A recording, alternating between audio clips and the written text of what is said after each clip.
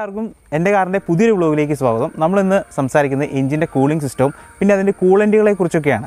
അപ്പോൾ നമ്മളോടൊപ്പം ഉള്ളത് ഇവിടുത്തെ നമ്മുടെ റോബിചേട്ടനാണ്. റോബിചേട്ടാ എന്റെ കാറിലേക്ക് സ്വാഗതം. താങ്ക് യു അപ്പോൾ നമുക്ക് ഇന്ന് കൂളന്റിനെ കുറിച്ചാണ് സംസാരിക്കുന്നത്. എന്തൊക്കെ ടൈപ്പ് കൂളന്റുകൾ നമ്മുടെ മാർക്കറ്റിൽ അവൈലബിൾ ആണ്? നമുക്ക് മാർക്കറ്റിൽ ഇപ്പോൾ മൂന്ന് ടൈപ്പ് കൂളന്റ് ആണ് അവൈലബിൾ ആയിട്ടുള്ളത്. അതിനകത്ത് ഒന്ന് inorganic acid technology I A T രണ്ട് organic acid technology O A T മൂന്നാമത് ഹൈബ്രിഡ് ഓർഗാനിക് ആസിഡ് ടെക്നോളജി ഇതൊക്കെ എന്തൊക്കെയാണെന്ന് വ്യക്തമായിട്ടൊന്ന് പറഞ്ഞുതരാമോ? തീർച്ചയായും. ആദ്യമായി നമുക്ക് എന്തിനാണ് ഒരു ഓട്ടോമൊബൈൽ കാറിൽ കൂൾ സിസ്റ്റം ഉപയോഗിക്കുന്നത് എന്ന് നമുക്ക് നോക്കാം. ഒരു ഓട്ടോമൊബൈൽ കാറിൽ അതിന്റെ എൻജിൻ വർക്ക് ചെയ്യുമ്പോൾ ഫ്രഷൻ മൂലം അത് ഹീറ്റ് ആവാൻ സാധ്യതയുണ്ട്. അപ്പോൾ ഈ ഹീറ്റ് ഒരു ഹീറ്റ് ആവുന്നത് മൂലം ഇത് ഓവർ ഹീറ്റ് ആവാനും സാധ്യതയുണ്ട്. അത് ഒഴിവാക്കാൻ വേണ്ടിയാണ് നമ്മൾ ഒരു ഓട്ടോമൊബൈൽ കാറിൽ കൂളിംഗ് സിസ്റ്റം ഉപയോഗിക്കുന്നത്.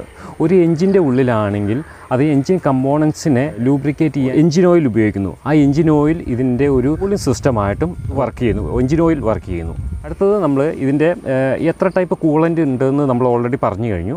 അതിനകത്ത് ആദ്യമായിട്ട് I type coolant I I T type coolant സാധാരണ ഗ്രീൻ കളറിലാണ് നമുക്കിന്ന് മാർക്കറ്റിൽ പഴയകാല വാഹനങ്ങളിൽ ഐ ഐ ടി കൂളന്റാണ് ഉപയോഗിച്ചുകൊണ്ടിരുന്നത്. അത് ഗ്രീൻ കളറിലാണ്. അപ്പോൾ ഈ ഗ്രീൻ കളറിൽ കൂളന്റ് നമ്മൾ ഡിസ്റ്റിൽഡ് വാട്ടറും ആഡ് ചെയ്തിട്ടാണ് സാധാരണഗതിയിൽ നമുക്ക് ഉപയോഗിക്കാറുള്ളത്. പലരും ഇത് ടാപ്പ് വാട്ടറും ഒക്കെ ഉപയോഗിക്കാറുണ്ട്. അത് ഉപയോഗിക്കുന്നത് മൂലം പല മിനറൽസും ഇതിനകത്ത് അടങ്ങിയിരിക്കും. അതുമൂലം ഇത് വണ്ടി ഓവർ ഹീറ്റ് ആവാൻ അതുപോലെ തന്നെ ഇത് റേഡിയേറ്ററും അതിന്റെ അനുബന്ധ പാർട്സുകളും തുരുമ്പെടുക്കാനും സാധ്യതകളുണ്ട്. സാധാരണ ഒരു ഓട്ടോമൊബൈൽ കാർസിലെ കൂളിംഗ് സിസ്റ്റത്തിൽ അത് ഒരു ആന്റി ഫ്രീ സൊല്യൂഷൻ ആയിരിക്കും അത് കൂളന്റായിട്ട് നമ്മൾ ഉപയോഗിക്കുന്നത്. ഈ ആന്റി ഫ്രീ സൊല്യൂഷൻ ഉപയോഗിക്കുന്നത് മൂലം അതിന്റെ ഹോട്ട് ക്ലൈമറ്റിൽ അതിന്റെ ബോയിലിംഗ് പോയിന്റ് കൂടണം. അതോടൊപ്പം അതിന്റെ വിന്റർ ക്ലൈമറ്റിൽ അതിന്റെ ഫ്രീസിങ് പോയിന്റ് കുറയണം. അതിന് വേണ്ടിയാണ് നമ്മൾ കൂളന്റ് സാധാരണഗതിയിൽ ഉപയോഗിക്കുന്നത്. സാധാരണഗതിയിൽ നമ്മൾ കൂളന്റിന് പകരം നമ്മൾ ടാപ്പ് വാട്ടറാണ് ഉപയോഗിക്കുന്നതെങ്കിൽ അത് ബോയിലിംഗ് പോയിന്റ് കൂടുന്നതിനനുസരിച്ച് അത് തിളച്ചു പോകാനും സാധ്യതയുണ്ട്. അതുപോലെ തന്നെ തണുപ്പ് ക്ലൈമറ്റിൽ അത് ഐസാവാനും സാധ്യതയുണ്ട്. അത് അതുകൊണ്ടാണ് നമ്മൾ ടാപ്പ് വാട്ടർ കൂളന്റിന് പകരം ഉപയോഗിക്കാത്തത്. അടുത്തതായിട്ട് നമ്മൾ O A T type coolant കാര്യമാണ് പറയാൻ പോകുന്നത്. O A T type coolant പല കളറിലും നമുക്കിന്ന് മാർക്കറ്റിൽ അവൈലബിൾ ആണ്. അത് red colour pink colour purple colour അങ്ങനെ പല കളറിൽ നമുക്കിന്ന് മാർക്കറ്റിൽ നമുക്കിന്ന് O A T coolant available ആണ് പ്രധാനമായും ഒരു കൂളന്റിന്റെ കളറിലല്ല പ്രാധാന്യം. അതിന്റെ ഏത് വണ്ടിയുടെ ആണെങ്കിലും അതിന്റെ ഓണേഴ്സ് മാനുവലിൽ എന്ത് റെക്കമെൻഡ് ചെയ്യുന്നോ ആ കൂളന്റാണ് ആ വണ്ടികൾക്ക് ഉപയോഗിക്കേണ്ടത്. അടുത്തതായിട്ട് നമ്മൾ പറയാൻ പോകുന്നത് എച്ച് ഒ ടി കൂളന്റിന്റെ കാര്യമാണ്. ഇത് ശരിക്കും ഐ എ ടി കൂളന്റിന്റെയും ഒ എ ടി കൂളന്റെയും ഒരു മിക്സർ വേർഷനാണ് ഇത് ഈ രണ്ട് കൂളന്റെയും ഗുണങ്ങൾ ഇതിൽ അടങ്ങിയിരിക്കും. അതുകൊണ്ടാണ് ഇതിനെ എച്ച് ഒ ടി കൂളൻ എന്ന് പറയുന്നത്. ഇതിൽ ഐ എ ടി കൂളന്റ് സാധാരണ ടു ഇയർ അല്ലെങ്കിൽ ട്വന്റി ഫൈവ് തൗസൻഡിലാണ് റീപ്ലേസിങ് പറയുന്നത്. O A T coolant five year അല്ലെങ്കിൽ ഫിഫ്റ്റി ടു വൺ ലാക്ക് കിലോമീറ്ററിലാണ് ഇതിന്റെ റീപ്ലേസിങ് പറയുന്നത്. ഇനി അടുത്തതായി നമുക്ക് എത്ര ടൈപ്പ് കൂളിംഗ് സിസ്റ്റം ഉണ്ടെന്ന്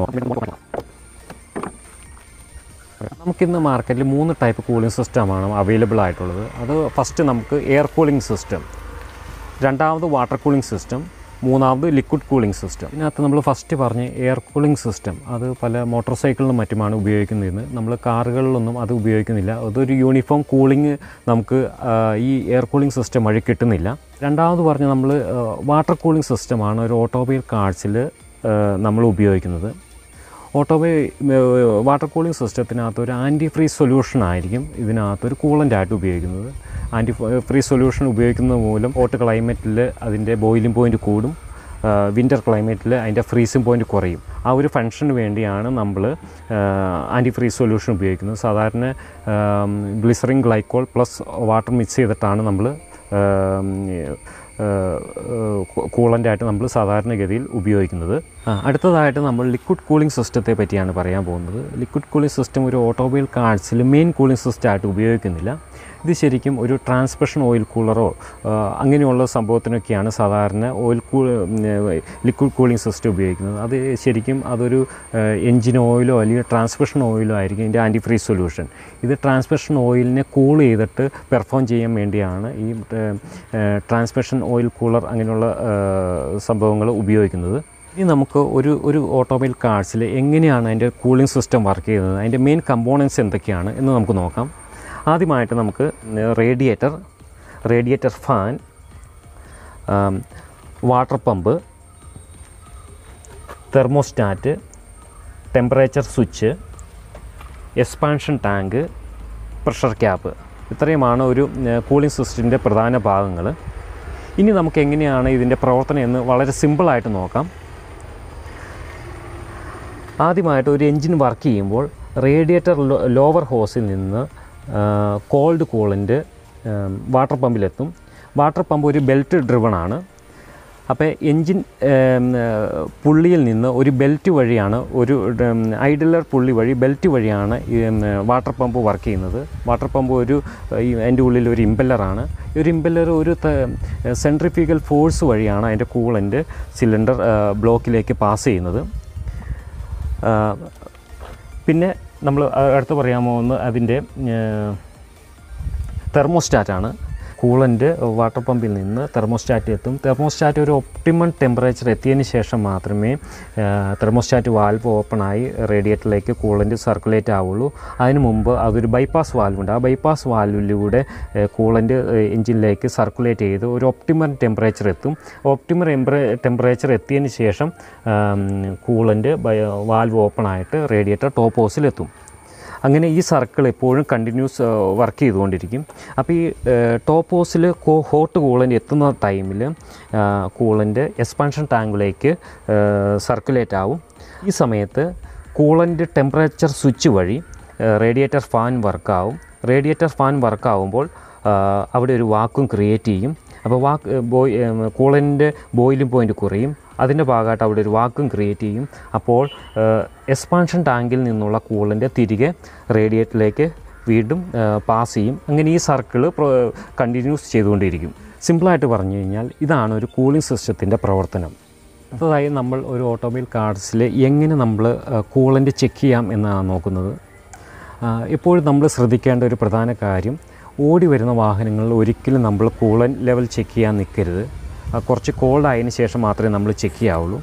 അതിനുള്ള കാരണം എന്താണെന്ന് വെച്ച് കഴിഞ്ഞാൽ ഒരു ക്ലോസ്ഡ് സർക്യൂട്ടിൽ റേഡിയേറ്ററിലുള്ള ക്ലോസ്ഡ് സർക്യൂട്ടിൽ ഒരു ലിക്വിഡ് ചൂടായി കഴിഞ്ഞാൽ അതിന്റെ ബോയിലിംഗ് പോയിന്റ് വരും അപ്പോൾ ഈ ബോയിലിംഗ് പോയിന്റ് ഉയർന്നു കഴിഞ്ഞാൽ നമ്മുടെ പ്രഷർ ക്യാപ്പ് ഓപ്പൺ ആക്കി കഴിഞ്ഞ് കഴിഞ്ഞാൽ അത് നമ്മുടെ മേത്തേക്ക് തെറിക്കാനുള്ള സാധ്യതയുണ്ട്. പലർക്കും ഇങ്ങനെ അപകടങ്ങൾ സംഭവിച്ചിട്ടുണ്ട്.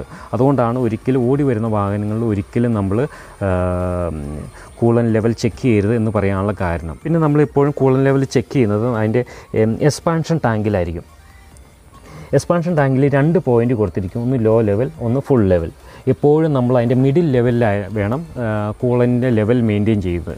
കാരണം എന്താണെന്ന് വെച്ച് കഴിഞ്ഞാൽ റേഡിയേറ്ററിലുള്ള ബോയിലിംഗ് പോയിന്റിലുള്ള വ്യത്യാസത്തിൽ കൂളന്റ് എക്സ്പാൻഷൻ ടാങ്കിലേക്ക് സർക്കുലേറ്റ് ആവും.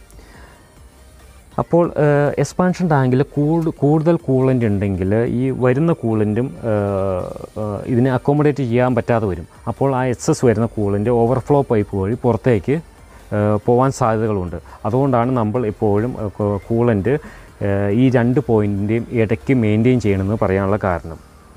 അപ്പോൾ ഇന്ന് നമുക്ക് റോബ് ജഡായി ഇതിന്റെ വണ്ടിയുടെ കൂളിംഗ് സിസ്റ്റം അതിന്റെ കാര്യങ്ങളൊക്കെയാണ് നമുക്കിന്ന് പരിചയപ്പെടുത്തി തന്നത്.